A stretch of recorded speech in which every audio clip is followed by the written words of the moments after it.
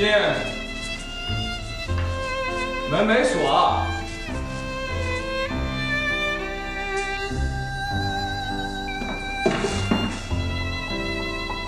小丫头，我跟你说了，门没锁。叫谁小丫头呢？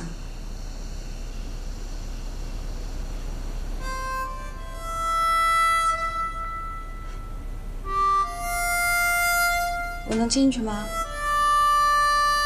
屋里边特别的脏乱差。我不怕。我怕。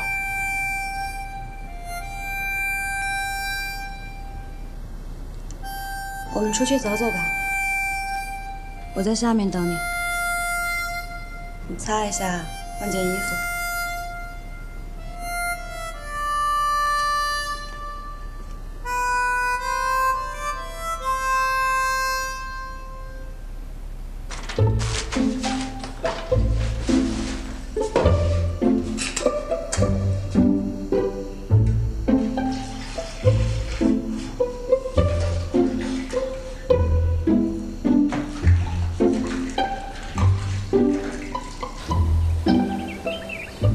你还没有告诉我，为什么这么久不来找我？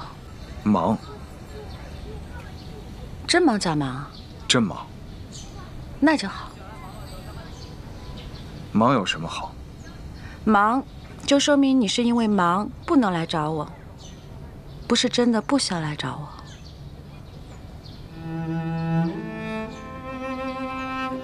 找我有什么事儿吗？你说我勾起别人的感情。但是从来不负责任。我不都说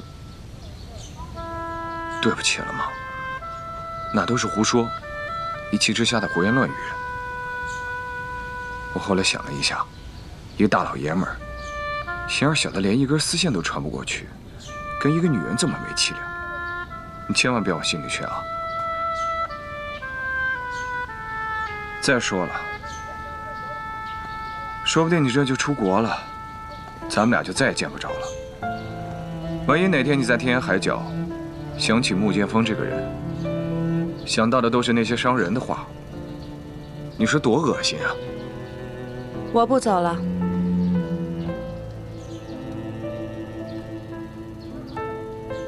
你说我勾起别人的感情，从来不负责任，我就负责任给你看看。你这又是何苦呢？怎么了？我要负责任了。你想开始逃避责任了？你对我没有任何责任。有。爱上了就有责任。茉莉，我昨天给他打过电话了，电话里跟他说过了，我要跟他分手。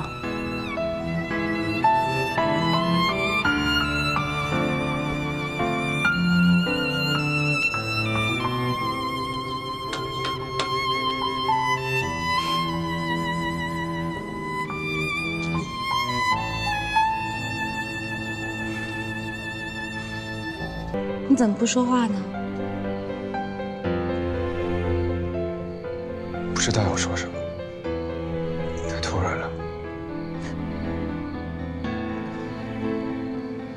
天有点凉了，咱们回去吧。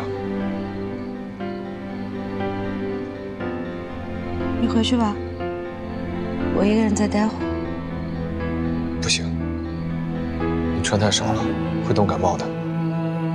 我不冷。我想一个人散散步。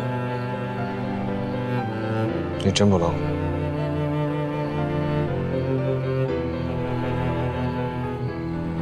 好吧，我先走了，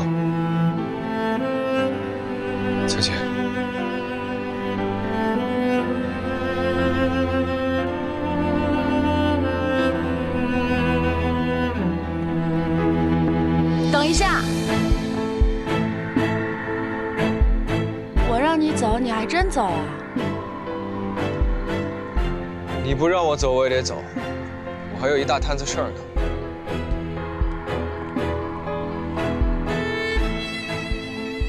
走一个试试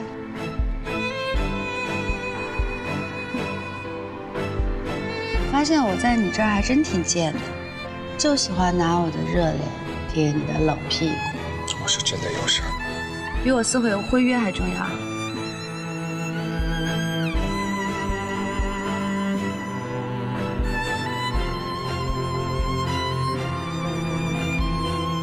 我就知道我要负责任了，你就要开始逃避责任了。负责是要从最基本的开始，诚实是最基本的。我哪儿不诚实了？你扪心自问，你是因为懒惰爱吃零食才跟他分手的吗？他是会认为女孩子的这些小毛病那么的不可救药吗？不会，对吧？是。他现在是不同意你继续当医生，但是以后呢？以后他要是反悔又同意了呢？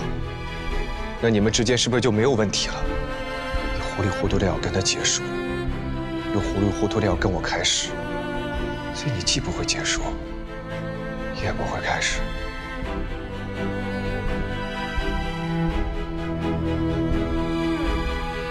那你说，我为什么要跟他分手？我不知道，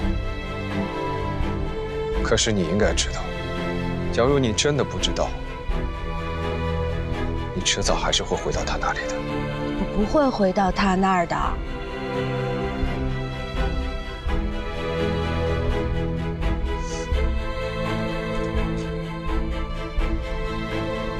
记得那天我们两个去捕鱼那儿，回来的时候，我跟你说来不及了，你还问我什么来不及了，你记得吗？当然记得。现在我可以告诉你了，那天我说的是什么都来不及了，因为我已经打定主意要放弃你了。